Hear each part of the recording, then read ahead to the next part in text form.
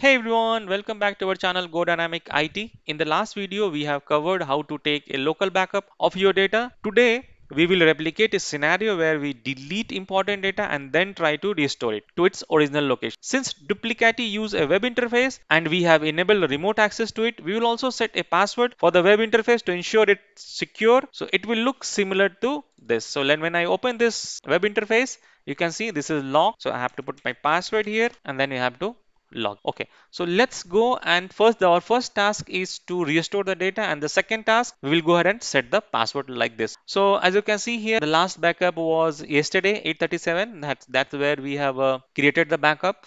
And let's go let's take one more backup now. So it says that uh, let's take the backup first. Run now go to our drive. Oh it's got failed for some reason let's create a quick backup here configure a new backup. Yeah put the password it says the strength is useless but that's okay this is for testing purpose you have to put the strong password click or you can create a generate you can see the button here generate once you click that generate it will create a strong password so click on the next we have to select the backup destination so backup destination would be the f drive and um, as i said yesterday you can go ahead and click on the advanced so i'm not going to touch anything here because we have already discussed this yesterday what would be the source data so source data would be on my desktop important files click on the next. And it says automatic they don't run automatically click on the next. And uh, general purpose we have already discussed everything here. Uh, use okay. it says that uh, it giving me error that you have given the weak password. That's okay. Click on the run now. And it says that starting backup files and uh, waiting for upload to finish running. So it says that is successfully bind 690 m. So let's go back to our drive external drive here f drive. Now you can see have a three files updated. And those are all the encrypted one. Now let's go back and restore it so how do we restore it so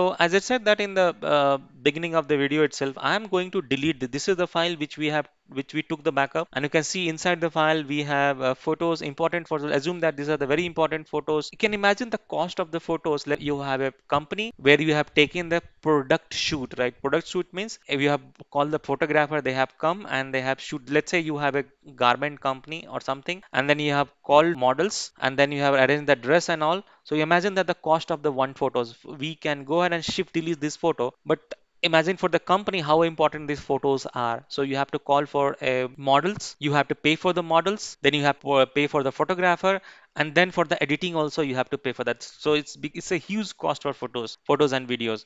Even even the business files also. So we have important photos then we have a videos then we have excel doc word file and and then other documents also. Imagine these are the, all the important file. And accidentally due to some reason maybe the system failure or anything this file got deleted. And i'm going to shift delete. You can see this permanently deleting the file. So i'm deleting this file.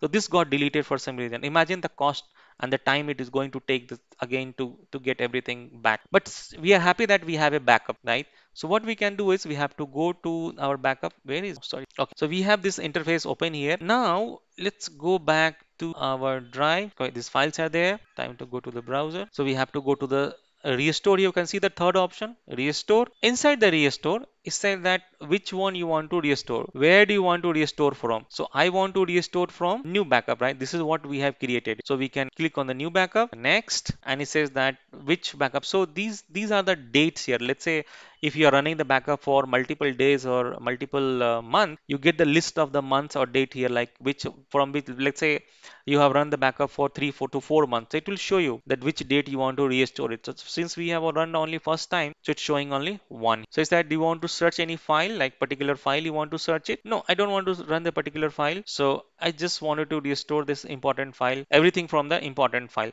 So as of now it's showing not showing on the encrypted one is showing the plain text. If you want to go ahead and select one file to be restored only one file can be restored or you can go ahead and uh, do that on the complete folder itself. Click on the continue and it says that restore option where you want to restore it. You want to restore the original location or pickup location or the folder path. Folder path means the custom location you want to do that. So you can click on the browse or you can select where you want to restore it. But I would like to restore it on the original location. So you can see here, um, this is the original location and this file is missing. Expand this one. Okay, let's click the original location and it says you want to overwrite or you want to save the different timestamps. So for you, let's say if, when there is already a file here Let's say something got deleted and you notice that after five days, but you have already created a new file on top of it. So what you have to do is then you create this option, save different version with the timestamp and the file version so that you can differentiate. This is the file the new file which you have created five days back and the file which you are restoring would be the the date which you have restored. But for me i'm going to select the override because i do not have any file so that's okay.